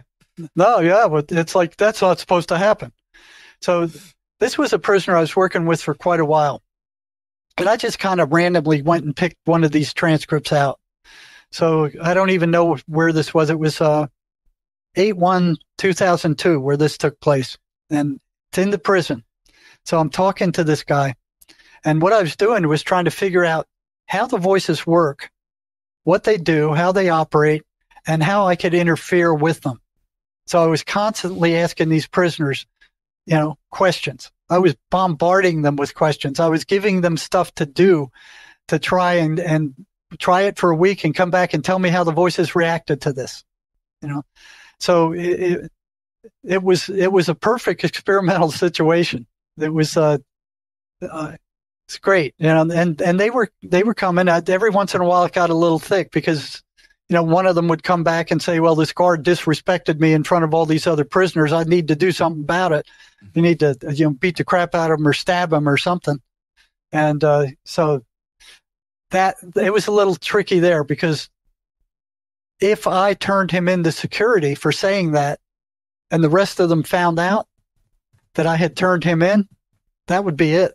Yeah. They'd never trust me again. You know, so I had to, what I did was increase the number of sessions I had with that guy until he calmed down or anybody like him. You know, so every once in a while it got a little, it got a little thick. So here I am talking to this guy in session and I said, uh, he, he tells me the voices started coming back once a day now. So we're working on reducing the amount of time that the voices are showing up, doing things that make them not come back as well. He said, I can feel them in the wings. He said they start off by whispering, How are you? And I asked him, Well, what do you do? He said, I completely ignore them and start praying. I don't talk to them at all. I generally ignore them. If you give them any recognition at all, then they put their foot in the door. Mhm. And I asked him, Well, how long does it take for them to go away once you start praying and asking for help? He said, About 15 minutes. So prayer works if you stay at it.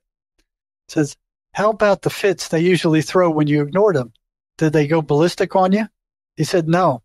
I have to give them the the time of day before they can they can get some uh, get into throwing their hissy fits. I asked him, "Do you have a whole a whole lot more peace than before?" He said, "Yes, much more." So he's doing these things that we found that fight back against the voices. He's saying they they- too. I'm just curious. Is he is he thing, saying they in terms of are there multiple voices, Yes. multiple different? So there's multiple entities at once can be affecting a person. Yeah.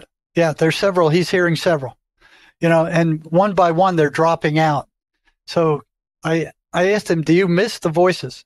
He said, "No, not anymore." He said, "I used to. They used to be hmm. more part of me than than I was." Wow, that's And I asked him, I said, "Are they the same voices you've been hearing all these years? They don't change?" He said, "Nope, they're the same ones. They don't change." Well, how many voices continue to come to visit you now? He says two. He had three before. I said, "Is that the same number as before or less?" He said, "One less." Was was the one who disappeared one of the weaker ones? He said, "No, it was the strongest one." And I was surprised. I said, "Really?" He goes, "Yeah." I said, "What do you think happened to him?" He said, "Well, I've been praying on a regular uh, basis now. Seems that the strongest one couldn't stand the constant prayer." I said, "Have you ever forged a better link with the positive spirits?" He said, "Yes. The demons try to disguise themselves as good spirits. What do you do? Uh, what do the good spirits do for you?" So he said, "They help me pray when the bad spirits come. The prayers get louder inside and overcome the bad voices." What kind of things do the good spirits tell you? They tell me to be appreciative of what I have and I'll get more. They tell me to stay in prayer and to give thanks for what's going on around me. Okay. So, you know, that's, that's just a little glimpse. So are, when he because you mentioned there too, like the good the the bad spirits can sometimes disguise themselves as good spirits. So do you think he's describing good spirits disguising themselves as bad spirits, or are there, you think there's actually good spirits as well that do actually come and maybe try to help people sometimes encounter? I, I. I think, I think there are in his case, um, well, in one, one other case, it was the guy's mother, you know, so, um, we were working on, he had, he had a number of bad voices. Matter of fact, it's the second transcripts I have here if, if you want me to read it. But he would hear bad voices, but he would hear his mother. And I was very suspicious. And I said, you know, if, if the, if the one that seems good tells you one bad thing, that would be it. So he would tell me about his mother coming and helping him. And I'd ask him, what did she say? And it was stuff like uh, brush your teeth, uh, don't get into fights, don't sell drugs, don't use drugs, stay out of trouble in the prison yard, wash your underwear, you know, stuff mothers would say. Yeah. And that went on for months and months and months. So this, this voice that his mother was never said anything bad. It just said stuff like the mother would say. Mhm. Okay. So he was he was working um, toward getting rid of the voices, and he finally succeeded. Okay, the voices were gone. He didn't have to take the meds anymore. So we finally got rid of them. And uh, at the very end, uh, before I was assigned to another unit, he says, uh, "My mother wants to talk to you." And I went, "That's strange. His deceased mother wants to talk to me." And I, I sat I, back. I said, wasn't "Well, trying to be a character in this in this part of the story, but all right, let's okay. So I said, Well, okay, what she got to say? And she said, Thank you for helping my son. And I said, Well, you're very welcome. He he did a good job. You know. And I went to ask her another question. And uh, she said something to the effect is, I'm not supposed to be talking to you. He, she said, Everything you need to know is in the Bible. And then it turned out that like two weeks later, she disappeared and and this he never heard from her again. Interesting. So it was like she hung around to help him through this. Had his mother recently passed? Uh, maybe time doesn't matter as much in our- our human concept of time, but I'm just curious if it was a, a recent thing. No, no, it wasn't recent. Interesting. You know, it was it was a good while back. Now, Now, I also have transcripts from a psychotic killer who's talking about his voices, if you want to hear that. Well, you know, Jerry, it's it's not every day someone offers to read me a transcript from a, a possessed psychotic killer, so I don't think I could turn it down. okay, this guy killed uh, three people. He uh, he killed two in a drug deal. He shot them to death, and he murdered his girlfriend and cut her into little pieces. And they still have not found her body. Oh. He almost killed his mother. So his mother was the one who sent sent me this, and he, he wrote this, and he goes, uh, it, "It's labeled there is a monster." Okay, and he says there is a monster that lives in my head. This monster is real. It's not under my bed. My mother, my mother tells me things to do. So I'm I'm having a hard time reading it because it's uh, his writing and it's also fading in and out. Gotcha, gotcha. It, it, it tells me sometimes when the news is new. My monster is crying as it, it spent all the years drowning out my courage and disposing my fears. My monster is strong. That's what I like to think my monster is coming when it's time to drink. So when he drank the when he drank the monster got out of control. My monster is is ready. My monster is strong. What will I do when my monster is gone? My monster will never leave. That is his plan. It overwhelms me when I'm making a stand. So basically, the monster is fighting through him when he gets into a fight. Mm-hmm. Uh, there's a monster inside me. I thought it was strong. How could this be? My monster was a has a name too. He walks in the dark, whispering Yahoo. My monster is watching me. He won't tell you my he won't tell you my name. My monster is the shadows you cannot see. His heart is heavy. He plays he plays for the game. My monster is aware. He wants to be monster. He's he he's as blood from a lake. His bond is with me. Now monster, he has nothing else to do. My monster awake. Know, this guy killed three people.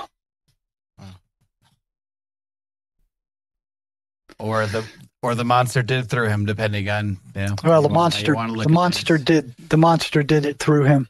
So, and a lot of these guys, you know, these these serial killers who shoot a bunch of people, they don't even remember doing it. Oh yeah. yeah. You know, something takes them over. It's uh, I remember one patient I was working with. Um, the the voices told him that to to get his gun, get in his car, and drive it till he ran out of gas. Now this is in the emergency room when I was working in the emergency room.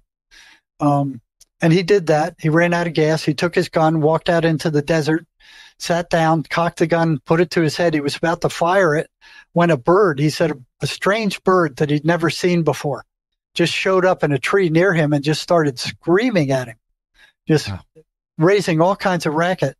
So he took the gun and he took a shot at it, and the blast of the gun going off woke him up. And he looks at the gun in his hand and he goes, What was I about to do? So it was like he was hypnotized. And that's the same thing with these serial killers a lot of times. They don't remember doing it.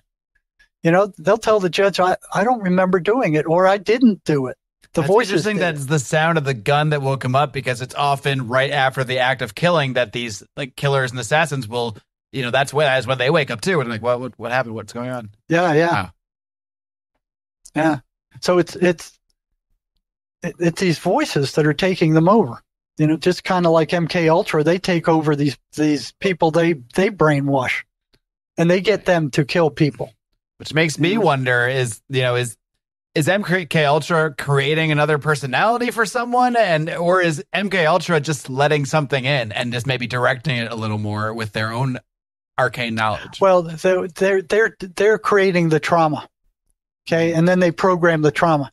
So just like th- these schizophrenics, I mean, virtually all of them were horrendously traumatized at some point. You know, so the CIA and MK Ultra, they just artificially produce that trauma and then then program the person to go out and murder somebody. You know, that's where a lot of these shootings are coming from. You know, well, let's take away the guns. Well, we got to get these drones to go out and shoot a bunch of people. So before we can take, take away the, the Ouija boards, that's what we that's what we ought to be banning. Yeah, take know. away the keep, Ouija keep the boards. guns. You need those, but the Ouija boards, I'm I'm for banning those. I think at this point. Um.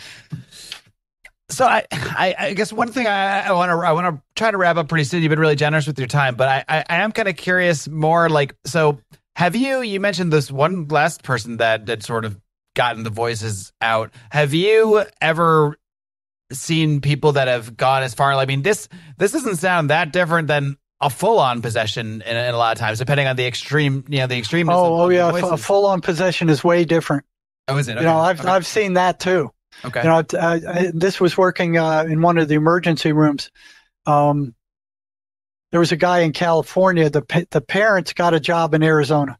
Okay, this this son of theirs was psychotic, and he was living with a girlfriend and trying to maintain. And he couldn't hold a job, and the girl was working, and she was uh, she was kind of supporting him, and he was getting more and more violent. Um, and what happened is one night she she would lock her bedroom door because she she was actually afraid of him, you know, and she was going, well, he's just he he'll get over this. He's just having a bad time. And then she started realizing, no, he's not going to get over this.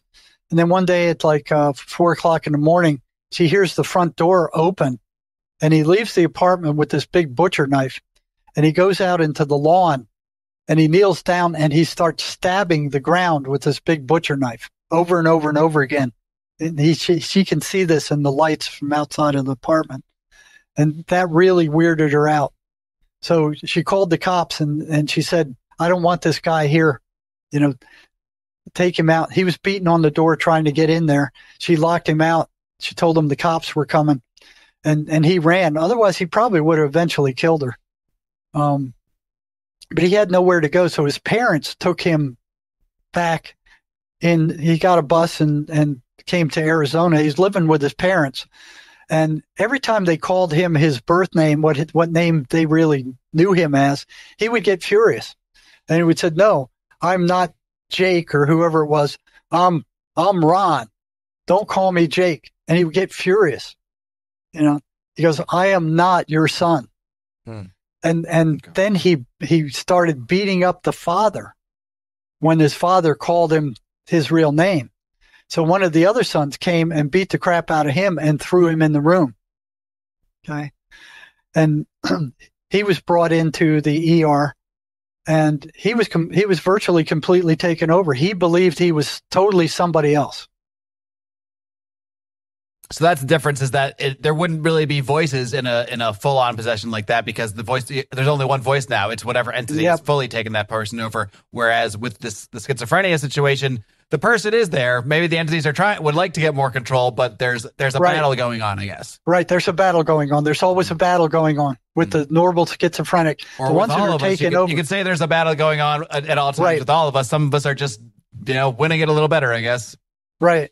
Yeah, we're getting along a little better than they are. Mhm. You know, uh, but yeah, like you said, they're taking over. They are now the voice. They are now being run by this entity that has taken them over. Where the normal schizophrenic is still fighting it.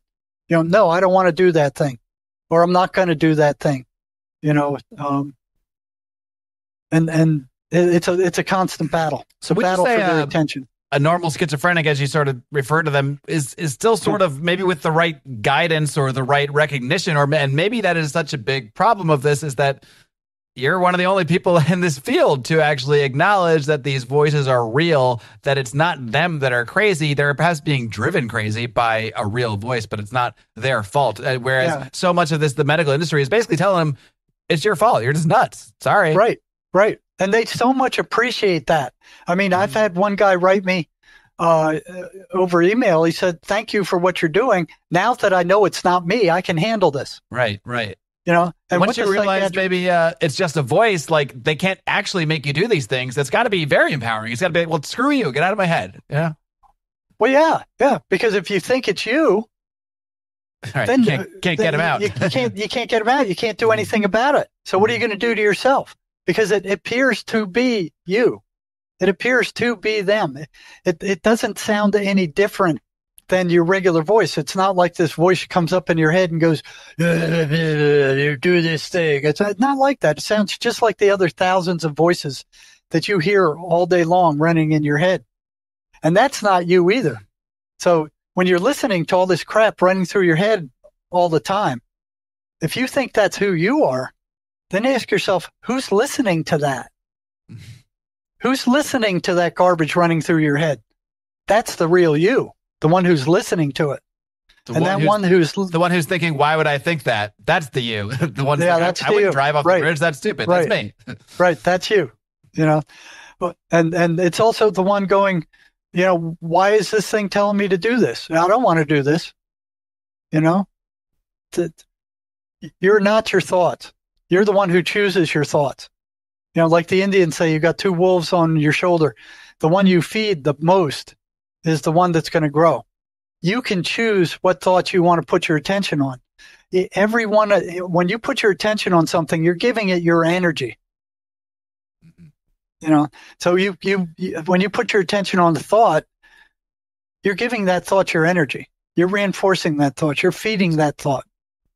And and when the voices are putting negative thoughts in your head, and you're putting paying your attention to them, you're going to eventually turn into those voices. It's, it's strange. It's a strange world. It, it, I mean, it's a strange world is a great way to sum up sum up this conversation, Jerry. But I, I think your your work is, is so important because, like I said, I mean there there are certainly a a lot of you know people in the in the religious world who will certainly have probably over the many years have been. I mean, in fact, hundreds of years ago, or or I mean, thousands of years ago, some wherever in there, maybe even tens of thousands of years ago, and even before the Bible, there were probably people that really understood what was going on here. Um, that the idea of a, a hospital or this has probably never never even come up because we didn't we hadn't created these sort of modern you know institutions yet. It was probably just like, oh yeah, this guy's possessed. Uh, he's dealing with some demons. We got to get you know he's dealing with spirits, and they would probably do some sort of practice that would certainly be more beneficial than the pills they give them today. Well, well, yeah. You look at the you look at the Bible. I mean, Jesus cast these these entities out of people some twenty three times in the Bible. You know, and today it's like oh, the Christians are like throwing them in the back seat. Yeah, yeah, yeah. There's demons. So you put them, throw them in the back seat. Just don't pay any attention to them. It doesn't work that way. They come up and they bite you in the butt. The the biggest deception that the, the devil has has per- perpetuated on the human race is that he doesn't exist. The voices don't want to be known. They're punished if they're found out. They're punished.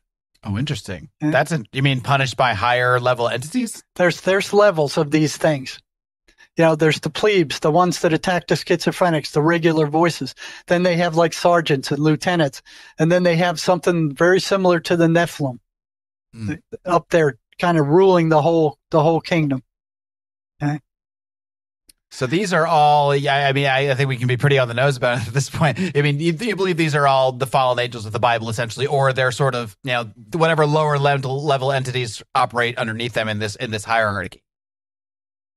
Yeah, and you know, you look at the the Bible; it's these the, these these demons were cast down onto the earth. That's where they were put.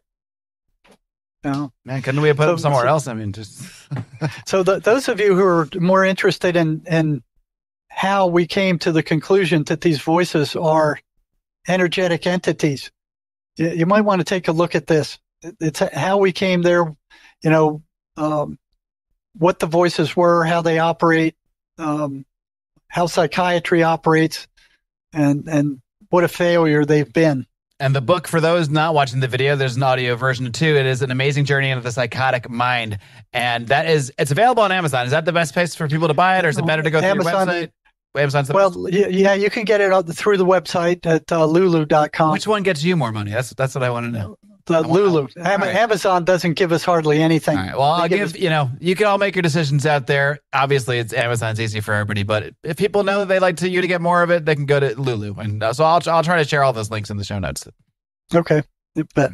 Well, Jerry, thank you so much uh, again uh, for your generous time. I think your work is just uh, it's ex- incredibly important, and I, I don't know if I I wish there was some way to get your work in academic format that your colleagues would actually take a look at. Probably not going to happen. Maybe podcast is the best we're going to do right now, uh, but, but we'll see. But uh, I really do thank you so much for your time. If you want to run through one more time uh, all the ways people can find your work, your website, and all that stuff, feel free to plug Well, away. yeah, they can go to jerrymarzinsky.com. You know, everything's there. Um, uh, there's there's scores of, of videos, and those of you who really want a psychotherapy that works, I mean, actually works, you know, go to causesuminstitute.com and find yourself a therapist there. They'll they'll tell you about it. This stuff works. It's it's not like the the psychotherapy where you just repeat the same stuff over and over and over again. And what's interesting about it is the therapist doesn't have to know what the trauma is for it to work. Hmm. You know, so if you were sexually molested or had something horrible done to you that you you don't want to be digging up over and over again, you don't have to. You know, it works anyway. All you have to do is you have to remember, you have to know it. You don't have to tell the therapist what it is. Interesting. And it's gone. It's gone in an hour. And that just takes away one more anchor that one of these entities can use to try to latch on to you. Exactly. Try to rub it. So is it that they do they take the trauma and just rub it in their face? Is it like oh Yes. remember and then so then once you've and if you're not healed from that trauma, then of course that is so much more effective. So if you can Yeah. get rid of it on your own, then that makes that the voice the right. less And what I hear is they hang around in the area of that trauma, and then when when something happens in your psychological area that triggers that trauma, you know, say your your dad was a real bastard, you know, mm-hmm. and somebody appears that's like your dad. This this buried stuff that that you buried alive starts wanting to break out. So it tells you you either attack that guy or you run from him or you avoid him. But in any case, there's a major upset that happens when you run into somebody like that. Causism goes in there and gets that out and, and, and releases that energy. So it's no longer there. It no longer exists. And what it feels like after that is, okay, I remember my dad, you know, but there's no there's no charge. There's no emotional charge to it. That that's gone. Gotcha. And if you if if you don't have the emotional charge, then it can't be used against you. So I think that's Right. a great thing to look into. Uh, Jerry, thank you so much for your time once again. Check out the website, check out the book. Uh, extremely important work, and uh, I hope to talk to you again soon, Jerry. Take care. Okay.